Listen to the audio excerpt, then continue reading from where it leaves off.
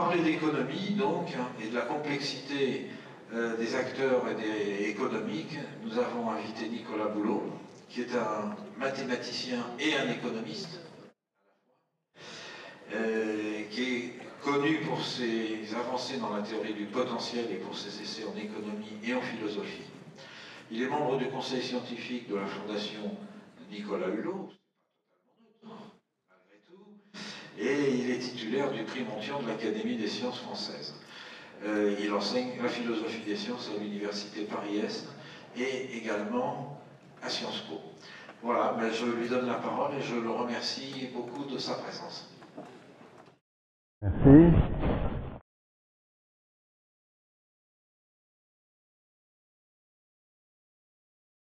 Donc, euh, je vais parler de la transition écologique.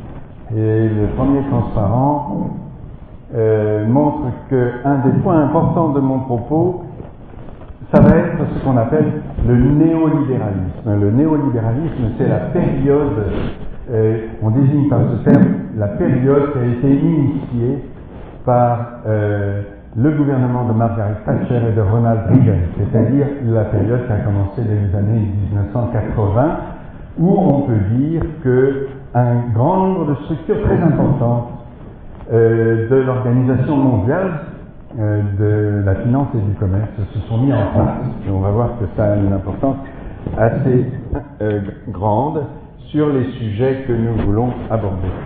Alors qu'est-ce que c'est que la transition écologique? Eh bien la transition écologique, c'est simplement une prise de conscience que tout ne peut pas continuer euh, indéfiniment comme c'est actuellement. Non seulement un certain nombre de phénomènes ont un taux de croissance constant, ce qui conduit à des exponentielles, on voit bien qu'il faudra que ça s'arrête, mais même pour des phénomènes plus, plus simples, euh, notre système de consommation fait que euh, il y a forcément des limites à ce qui se passe actuellement et j'ai vu avec plaisir que euh, dans les locaux euh, du festival, il y a une exposition qui justement euh, vulgarise ces questions avec beaucoup de pertinence. Alors ceci a été modélisé par une équipe très connue, l'équipe de Meadows au MIT, avec un très grand nombre de scénarios. J'insiste sur deux points. C'est que ces scénarios sont tous représentés avec des grandeurs qui ne sont pas des prix. Il n'y a pas de prix. Ce sont uniquement des masses, des volumes, des aires cultivables, euh, des quantités de pollution, etc. Il n'y a pas de prix. Et alors ce qu'on observe dans la plupart de ces scénarios, eh bien, comme vous pouvez l'imaginer, c'est ce qui est, euh, selon le, le vocable bien connu, overshoot collapse ce qui signifie qu'on a tiré trop haut et après c'est l'effondrement. Alors ces modélisateurs ont la prudence de ne pas modéliser la partie effondrement. La partie effondrement, pour eux, euh, il y a forcément des phénomènes sociaux tellement complexes que ça dépasse en quelque sorte les principes de, on pourrait dire, l'extrapolation rationnelle. Donc euh, la transition écologique, c'est le problème de faire changer les comportements pour que eh bien, pour que on ait davantage de maîtrise dans l'évolution des choses. Alors, la première idée, c'est d'expliquer que ça va mal. En fait, c'est l'idée qui a été suivie par le vice-président Al Gore avec son film qui s'appelait Une vérité qui dérange, avec cette fameuse allégorie de la petite grenouille, etc., que beaucoup d'entre nous ont vu voir, film s'est passé sur les écrans des grandes salles. C'est aussi le principe qu'avait adopté Nicolas Hulot avec son film euh, Le syndrome du Titanic. Alors, euh, expliquer que ça va mal, c'est par exemple euh, faire connaître que les émissions de CO2 continuent d'augmenter ce qui signifie que le stock de CO2 augmente, lui, quadratiquement.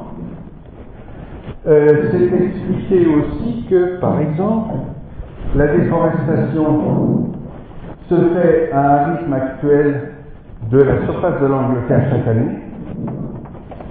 Je n'ai pas dit le Royaume-Uni, j'ai dit simplement l'Angleterre, mais c'est déjà considérable. Ou bien c'est expliqué encore que euh, euh, selon euh, les études autour des services des Nations Unies, ben, les réserves halieutiques, c'est-à-dire les poissons sauvages, seraient épuisées ou à peu près en 2050. Au sujet des poissons, c'est intéressant parce que le, le, Parlement de Strasbourg vient de voter des lois sur la politique commune de la pêche. Et euh, ces nouvelles directives doivent être présentées au Conseil pour être adoptées par l'Europe. Alors là, il y a déjà un phénomène qu'on peut souligner qui est très intéressant. Bien sûr, il y a les phénomènes bien connus qui sont ce fameux problème de l'usage des chaluts. Comme vous savez, les chaluts sont des, sont des dispositifs qui raclent le fond des mers et donc en fait abîment énormément toute la flore existante, mais en plus ramassent beaucoup de poissons dont la taille est interdite et donc doivent rejeter en mer les poissons qui sont trop petits, mais qui sont morts. Et donc ce problème des rejets est un problème qui est quasiment insoluble parce que si on laisse, si on laisse les pêcheurs conserver ces poissons, en fait, ils sont vendus sur les étals quand même. Donc là, il y a un problème difficile, mais le problème, le problème euh, majeur d'un point de vue de la compréhension des phénomènes, c'est que les réserves halieutiques sont très mal connues. Euh, savoir combien il y a de poissons dans la mer du Nord, par exemple, ça a été étudié par les crémaires avec des sondages. Et donc on pêche des poissons et on essaye d'extrapoler pour savoir combien il y en a dans la mer dans son, dans son ensemble. Même chose pour l'Atlantique ou la Manche. Sauf que les poissons, ça se déplace. Et donc la quantité exacte de la réserve est très mal connue, de telle sorte que les règles de quota, les règles de discipline collective pour maintenir une, une, réserve suffisante pour que la population se renouvelle, l'application de ces règles est extrêmement difficile parce que précisément il y a beaucoup de contestations sur l'état de la réserve. Donc ça c'est un exemple euh, qui montre une difficulté sur laquelle je reviendrai. Alors, je n'ai pas pu m'empêcher de photographier cette publicité parce que pour ceux d'entre vous qui sont venus de Paris, ils ont remarqué que dans la plupart des stations de métro parisiennes, cette, affiche est présentée et je trouve ça assez amusant. Parce que, d'abord, c'est présenté à Paris alors que les gens sont partis en vacances. Bon, mais c'est expliqué qu'il faut que les gens euh, soient propres sur les plages. Mais c'est assez cocasse parce que nous ne sommes plus du tout à l'époque où la mer nettoyait les plages sur lesquelles euh, les vacanciers laissaient des détritus. Nous sommes à l'époque où la mer apporte des détritus. N'est-ce pas? Et donc culpabiliser les pauvres vacanciers me paraît une erreur. Vous savez que on a appelé le nouveau continent flottant les 3,5 millions de kilomètres carrés au milieu du Pacifique où on voit flotter les bouteilles de plastique et les sacs en plastique. C'est ce qu'on appelle le nouveau continent flottant. Et la mer, maintenant, apporte évidemment des études de sorte que ce type de communication me paraît complètement décalé par rapport au véritable problème. Donc ça, je voulais vous le signaler parce que c'est assez amusant. Euh, donc, je reviens là-dessus. La première idée, c'est de dire que ça va très mal. Le problème, c'est que cette, euh, cette idée-là, ça marche pas très bien.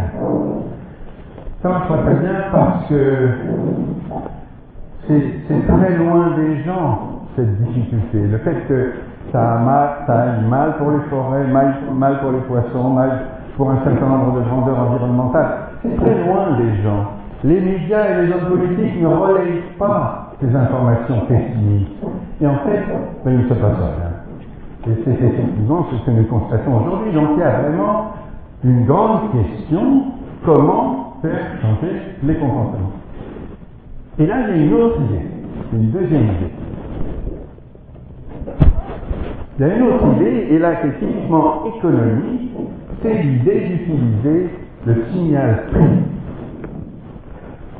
Utiliser le signal alors c'est une vieille idée qui euh, doit euh, être attribuée essentiellement à un penseur très profond qui s'appelle Friedrich Hayek, qui est un économiste de l'école autrichienne, et qui a écrit dans les années 1945 euh, un texte tout à fait remarquable dans lequel il explique que pour bien faire fonctionner l'économie, il n'est pas nécessaire que quiconque comprenne la totalité du fonctionnement économique.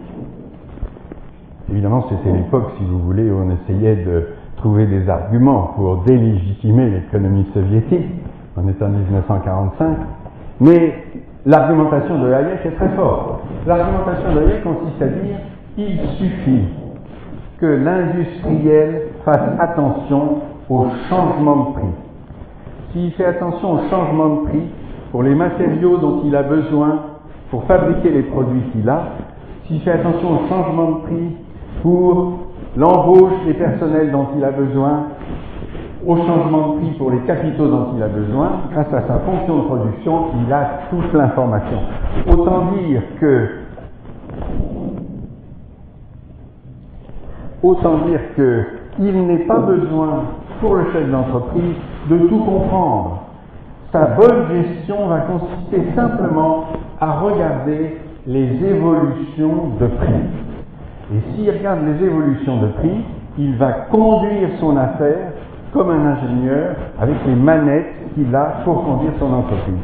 Donc c'est la grande théorie de la décision décentralisée qui est en effet euh, très intelligente et euh, Hayek exprime d'ailleurs, je ne sais pas si j'ai mis le, texte, voilà, hein, par un texte tout à fait précis, c'est plus qu'une métaphore de décrire le système des prix comme une sorte de machine à enregistrer les changements. Pour Hayek, c'est les changements qui comptent pour conduire, pour prendre des responsabilités économiques, pour prendre des décisions économiques.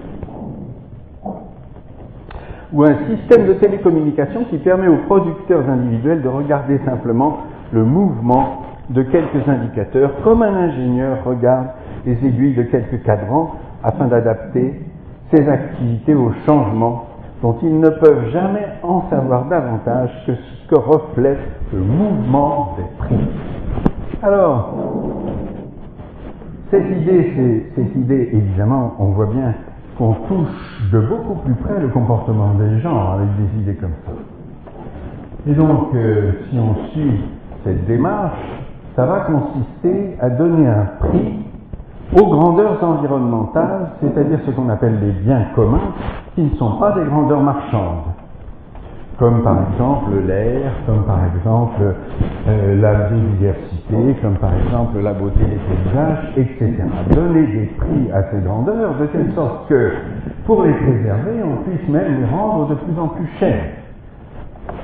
Ça, c'est une grande idée, et, qui, en effet, euh, qui partiellement mise en œuvre, en tout cas sur le plan théorique, euh, par un certain nombre d'institutions internationales euh, en ce moment. La question qui se pose, eu égard à cette idée, c'est que aujourd'hui, les prix sont donnés par les marchés financiers. Hayek, c'est 1945, mais à partir des années 1980, c'est le néolibéralisme qui s'est mis en place. Ça veut dire quoi? Ça veut dire que les marchés financiers se sont développés. Bon, la bourse existait déjà depuis le 19e siècle, mais ils ont pris une importance considérable, aussi bien bon, à New York, Chicago, qu'à Paris, Londres, euh, Francfort, qu'à Singapour, Tokyo, et, euh, etc. Donc ces marchés se sont développés et se sont accompagnés de tous ces outils qui sont les produits à terme qu'on appelle les produits dérivés. Donc ce sont devenus euh, des euh, institutions, institutions sur lesquelles sont commercialisés la plupart des produits dont on a besoin pour le fonctionnement de l'économie mondiale, c'est-à-dire les ressources non renouvelables comme le pétrole, le gaz, les métaux courants, donc le fer, le cuivre, l'aluminium, le zinc, le plomb, sont cotés sur les marchés financiers. Mais également la laine, le coton, le blé, les, euh, les grandeurs euh, agricoles, le soja, le sucre, le jus d'orange, le cacao, j'ai cité, etc. Même le sable est, coté sur les marchés financiers parce que contrairement à ce qu'on croit, le sable est une denrée de plus en plus rare. Et euh, alors qu'est-ce qui se passe? Eh bien, il se passe que ce sont les marchés financiers qui imposent les prix. Le meilleur exemple, si vous voulez, c'est le petit agriculteur du Sud qui a sa récolte et qui va vendre sa récolte à un grossiste. Et ce grossiste va lui imposer les prix du marché.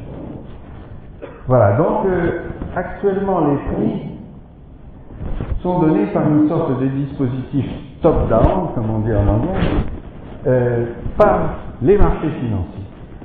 Et la question qui se pose, et sur laquelle on va euh, approfondir un peu la réflexion, c'est que les marchés financiers sont extrêmement agités. Ce sont des marchés qu'on appelle spéculatifs. Qu'est-ce que ça veut dire spéculatif? Ça veut simplement dire, ici je ne fais pas du tout d'idéologie, euh, spéculatif ça veut dire simplement ce sont des marchés sur lesquels on peut acheter et vendre quasi instantanément. Vous achetez quelque chose, vous pouvez le revendre immédiatement. Euh, et donc, euh, ces marchés sont extrêmement agités et euh, là, ici, on a le graphique du prix du brut et effectivement, vous voyez des agitations considérables. Et le fait que ces marchés gouvernent les prix et qu'ils soient aussi très agités, euh, ça fait effectivement une sorte de conflit avec cette politique qu'on pourrait dire de, euh, du signal prix pour la préservation de l'environnement, et c'est ça que je voudrais euh, clarifier maintenant. Donc vous voyez que même pour des denrées comme le, le, prix de la laine par rapport au coton, les agitations sont tout à fait considérables.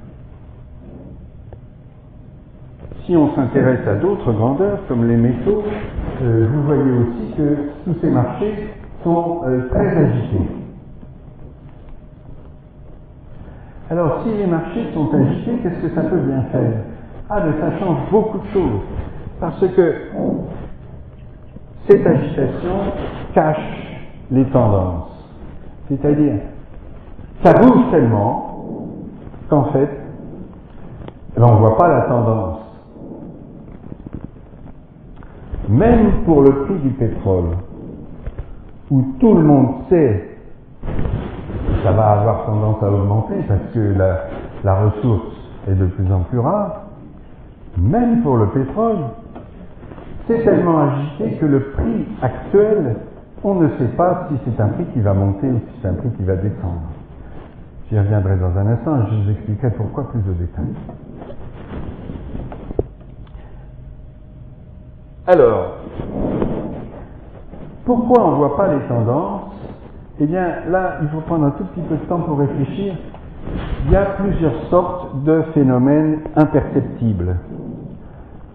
Il y a les phénomènes qui sont très lents. Les phénomènes qui sont si lents qu'on ne les perçoit quasiment pas. Et un, exemple très amusant, euh, c'est effectivement le, le pont Rion-Antirion, euh, entre le Péloponnèse et le continent. En fait, il se trouve que le Péloponnèse, vous le savez sans doute, se rapproche du continent à la vitesse d'un centimètre par an.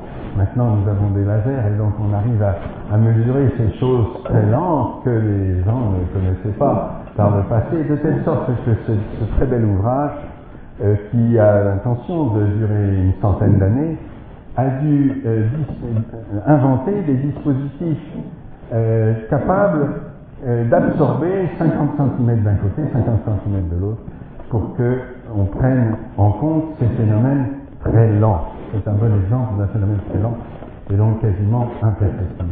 Mais il y a aussi d'autres phénomènes qui sont imperceptibles parce que ce sont des tendances de phénomènes très irréguliers. Alors pour quitter un peu la finance, j'ai pris l'exemple de la fontaine de Vaucluse. La fontaine de Vaucluse, vous savez, c'est la source de la rivière Sorgue dans le Vaucluse, qui est donc une source karstique, et qui est extrêmement irrégulière.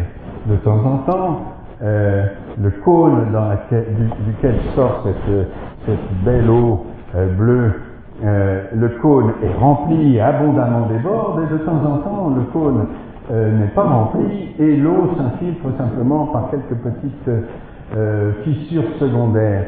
Et quand on fait des statistiques sur le flux de la fontaine de l'eau plus, on s'aperçoit que c'est extrêmement irrégulier, de telle sorte que on ne voit rien sur les tendances.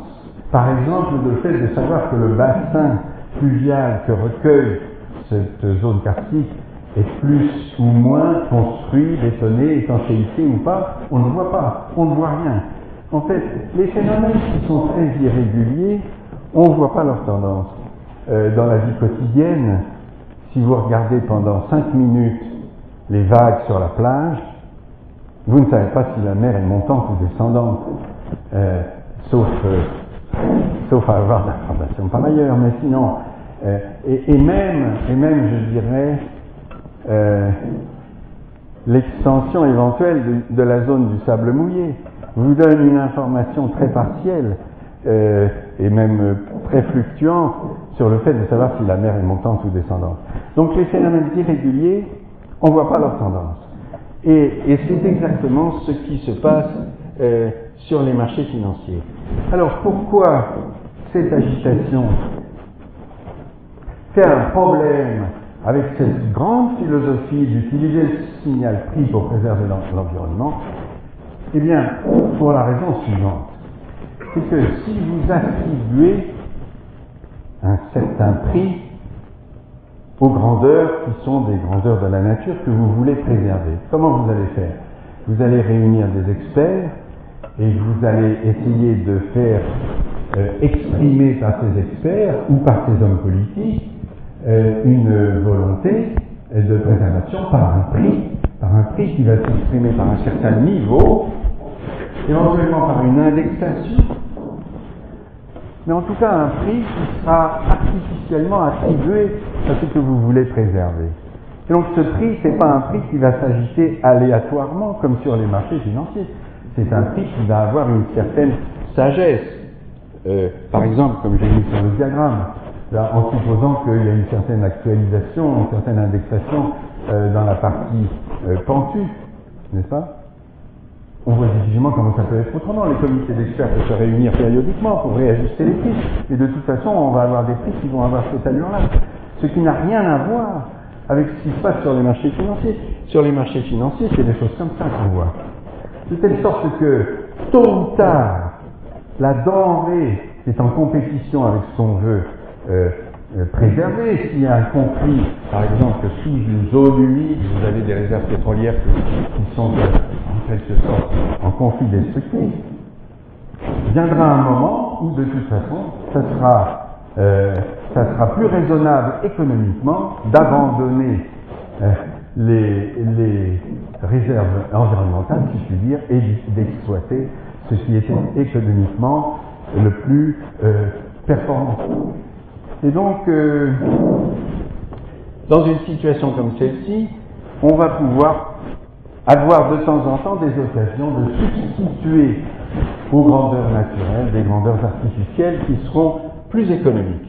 Alors donc ça c'est un vrai problème et là j'ai mis quelques exemples de ce qui se passe avec la forêt euh, primaire canadienne et c'est vrai que le Canada qui a été un pays qui a préservé l'environnement pendant très longtemps, c'était la fierté, et maintenant un ceux qui, sans scrupule évidemment, exploite euh, d'une façon euh, très sauvage euh, l'ensemble de ces sites, pour les raisons que je viens d'expliquer.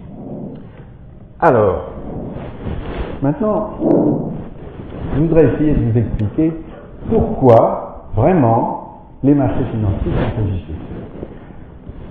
Et c'est là qu'on va faire un petit peu plus de rentrer dans la réflexion, je dirais, scientifique. La première euh, explication, elle est toute simple. Ils ne peuvent pas faire autrement. Ils ne peuvent pas faire autrement, tout simplement parce que, comme je l'ai déjà dit, si vous supposez que sur euh, un marché, la tendance est visible, Mais s'il y a une tendance visible, immédiatement, le prix instantané va changer parce que les gens vont essayer d'en tirer parti. Donc si on voit par exemple que sur tel marché, c'est à la hausse, immédiatement des gens qui vont acheter et le prix va monter de telle sorte qu'on ne verra plus la tendance. Sur les marchés spéculatifs, à partir du moment où on peut acheter et vendre comme on veut, à, l'instant qu'on veut, il ne peut pas y avoir de tendance. C'est-à-dire que les marchés ne peuvent pas faire autrement que de dissimuler les tendances. Et quelle est la courbe mathématique qui n'a pas de tendance ben, C'est forcément le zigzag instantané. Et donc il ne peut pas y avoir de tendance sur les marchés financiers. Donc ça c'est la première explication. Hein? Si une tendance se voyait clairement, évidemment, elle s'effacerait immédiatement. Alors vous me direz, mais il y a des gens qui spéculent et qui gagnent de l'argent, etc. Oui, mais justement, aujourd'hui, les spéculateurs, ce sont des équipes. Ce sont des équipes qui sont euh, sur tous les continents, qui sont euh, avec des outils informatiques euh, remarquables, qui ont des ordinateurs, font des statistiques avec des moyens informatiques et mathématiques considérables pour déceler les moindres informations de tendance et en profiter. De telle sorte que l'agent économique standard, le chef d'entreprise, vous-même, vous êtes absolument incapable de faire mieux que ces équipes. Donc pour vous, les prix financiers se présentent comme des prix où il n'y a aucune tendance visible, à cause justement de la présence de ces équipes. Alors, ok, ça je, j'en ai parlé, j'y reviendrai si, si éventuellement on a du temps.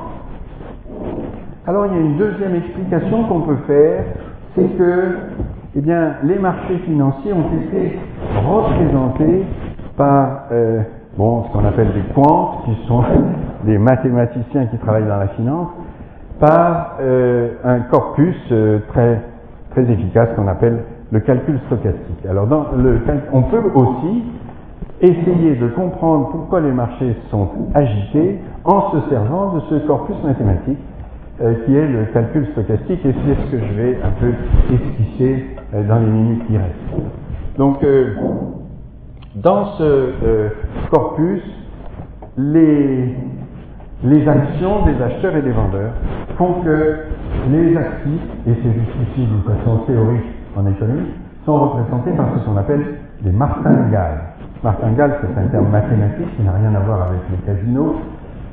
Les martingales sont des processus aléatoires qui ont la propriété que le processus à l'instant T est l'espérance conditionnelle de sa valeur à l'instant T plus sachant toute l'information présente qui est représentée par le, le symbole ST. Donc les martingales sont des processus dont, donc ils sont chaque fois d'une façon télescopique l'espérance conditionnelle de leur valeur future. Alors pourquoi ces processus sont agités? Eh bien, en fait, c'est une question assez difficile. Il y a un théorème mathématique, mais comme souvent, les théorèmes mathématiques ne font pas véritablement comprendre le phénomène. Il y a un théorème qui dit tout martingale continue, c'est un mouvement brownien changé de temps, mais ça, ça n'explique pas grand-chose. Le fait, pour comprendre pourquoi c'est agité, ça n'est pas si facile. Et euh, la propriété clé, quand on y réfléchit, c'est qu'il y a une propriété d'orthogonalité. Les accroissements d'un processus, comme on vient de le parler, les accroissements, MTK moins MTK moins 1, sont orthogonaux à tout ce qui s'est passé jusqu'à présent il y a un phénomène d'orthogonalité. Orthogonalité au sens probabiliste, ça veut dire non-corrélation. Orthogonalité, ça veut dire non-corrélation.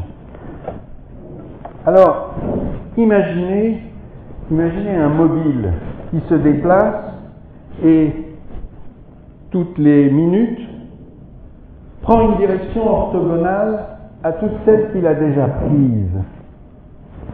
Alors, tourne à angle droit, puis ensuite il retourne à angle droit. Alors, dans l'espace à trois dimensions, il peut faire ça que trois fois. Donc ça va faire comme un cube, les, arrêts d'un cube ou quelque chose qui ressemble à un cube. Et si vous projetez ça sur une droite, vous voyez que c'est relativement agité. Alors pour pouvoir raisonner avec une martingale, il faudrait mettre comme ça beaucoup de cubes, sauf que ce serait un peu triché parce que en mettant on ne serait pas dans un espace de grande dimension, on serait toujours dans, dans, dans, dans l'espace à trois dimensions. Donc c'est quoi la propriété qui fait qu'il y a de l'agitation? C'est une propriété particulière qui s'appelle la variation quadratique. La variation quadratique, c'est la somme des accroissements au carré et non pas la somme des valeurs absolues des accroissements. Et alors, la variation quadratique en général, pour une, pour une fonction régulière, la variation quadratique, elle est nulle. La variation quadratique, elle est nulle. Pourquoi? Bah, Parce que quand on, quand on, additionne des carrés, des carrés d'accroissement et que le, le, partage devient de plus en plus petit, le carré d'une grandeur petite, c'est encore plus petit, ça fait que c'est zéro. Et les fonctions qui ont des variations quadratiques non nulles, les fonctions qui ont des variations quadratiques non nulles sont des fonctions forcément très irrégulières. Là, c'est la, là, c'est la fonction de Bolzano que je suis en train, qui est très célèbre. Euh, c'est une fonction qui a été inventée au début du 19e siècle et qui n'a pas de dérivée.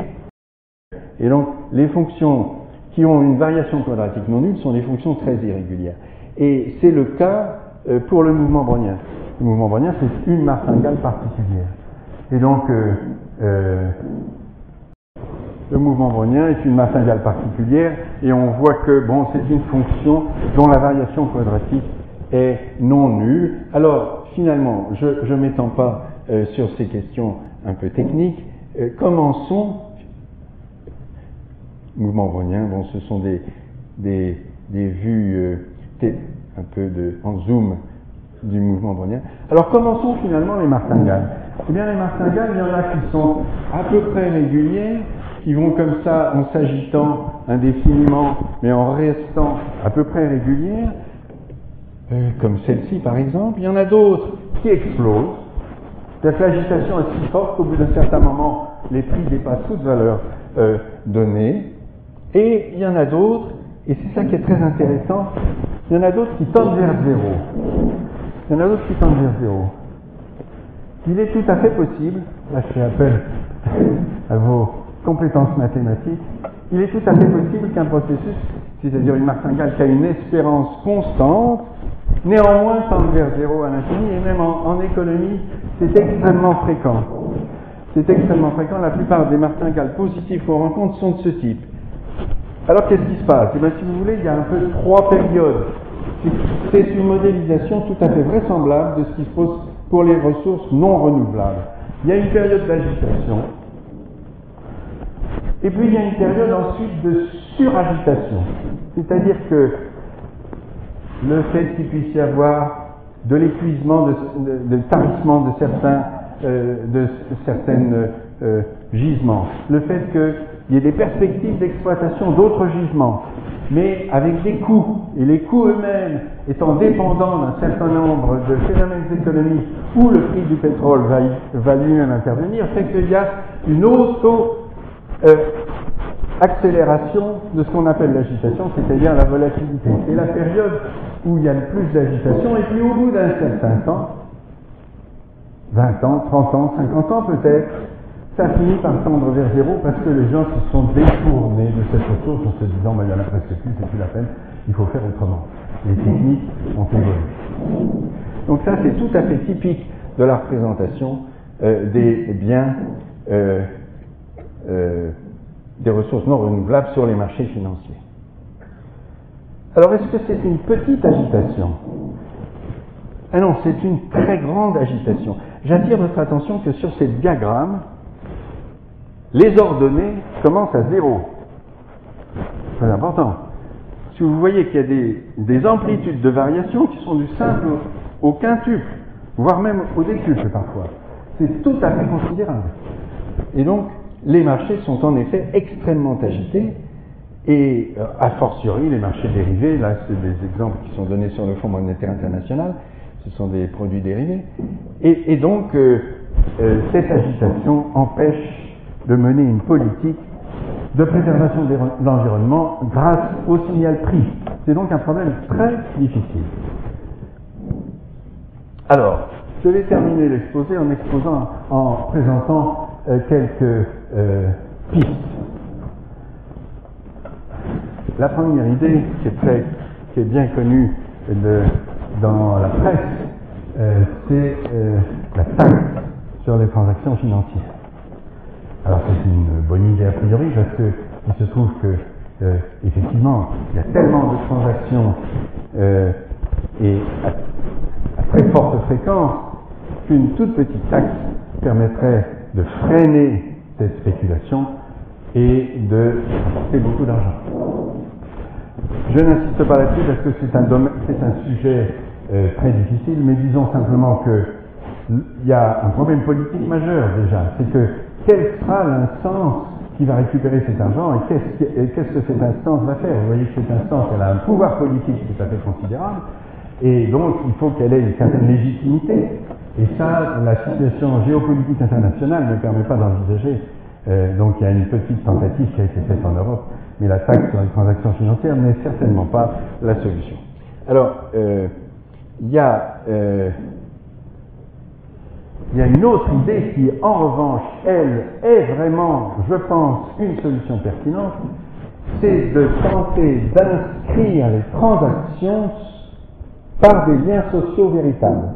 Ce qu'il faut bien voir, c'est que les marchés financiers ne sont pas des marchés comme ceux qu'étudiaient les grands économistes du XIXe siècle, qu'on appelle la période néoclassique. Je veux parler de, Jean-Baptiste Sorel, de Karl Marx, de Jevons, de Valras. Tous ces gens-là, bien sûr, la, bourse existait, mais elle avait un rôle beaucoup plus faible. Euh, à cette époque-là, les marchés étaient des marchés avec une inscription sociale. Ça voulait dire que quand il y avait une transaction, il y avait une modification d'un contrat qui reliait un vendeur et un acheteur. Comme aujourd'hui dans le marché du travail. Quand vous prenez un emploi, vous ne le revendez pas immédiatement à quelqu'un d'autre. Il y a, une, véritable modification de la structure sociale qui est liée à la transaction. Et ça, ça c'est une bonne idée. En fait, il se trouve que les marchés financiers tels qu'ils fonctionnent actuellement, c'est-à-dire avec ces fameuses transactions hyper fréquentes, personne ne les a voulues. aucun système démocratique ne les a demandées.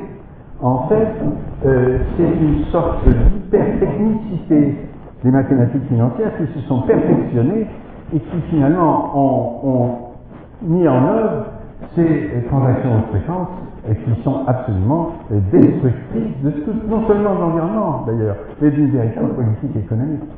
Et donc, la solution, la solution véritable, c'est une solution qui consiste à essayer d'inscrire socialement les transactions. Ça veut dire concrètement essayer de trouver, essayer d'obtenir des gouvernements, de la puissance publique, une information très forte et très fiable sur la situation environnementale autrement qu'avec des prix, c'est-à-dire avec des quantités qui ne sont pas chiffrées en monnaie, avec des informations qui sont en surface, en masse, en, volume, euh, en vitesse, etc., information la plus, la meilleure possible pour que les agents économiques puissent se servir de cette information pour modifier leur comportement. Et donc ça, c'est une voie extrêmement prometteuse et il se trouve que certains penseurs tout à fait classiques et qui sont des défenseurs de l'économie libérale de façon dure comme fer, ont déjà remarqué que dans le corpus de l'économie libérale, il y a une véritable contradiction et qu'on ne peut pas faire autrement. Et là, je voudrais terminer en citant l'économiste. Euh, euh, attendez, c'est juste le suivant. Voilà, l'économiste donc Solos, qui est, on ne peut certainement pas lui faire le reproche d'être un contestataire de l'économie libérale, certainement pas, et il écrit que donc je lis les mêmes considérations à penser que le marché des ressources utilisables peut être l'un des domaines où une sorte de planification indicative organisée pourrait jouer un rôle constructif. Il ne s'agit pas d'une approbation de la prise de décision centralisée, est susceptible d'avoir les imperfections des externalités qui lui sont propres. En effet, il pourrait être suffisant que le gouvernement s'engage dans un programme continu de collecte et de diffusion d'informations couvrant les tendances de la technologie, des réserves de la demande. Dans le cas des ressources épuisables, cela pourrait, avoir l'effet supplémentaire de générer un ensemble de visions cohérentes quant à l'avenir lointain. Donc voilà. Et euh, je pense que ce sont en effet des remarques tout à fait euh, pertinentes. Et euh, alors, deux mots. Je ne crois pas je ne crois pas que les difficultés environnementales présentes soient suffisantes pour qu'il y ait une volonté politique pour supprimer les marchés financiers. Ça, je ne crois pas. On peut en discuter, mais quand on voit le poids des, partis verts dans les pays démocratiques, le problème de la démocratie elle-même vis-à-vis de ces problèmes, dans la mesure où la démocratie quand même met largement l'accent sur les avantages individuels. Mais il faut garder espoir pourquoi? Parce qu'on a déjà l'exemple de marchés financiers qui, en fait, se sont éteints d'eux-mêmes.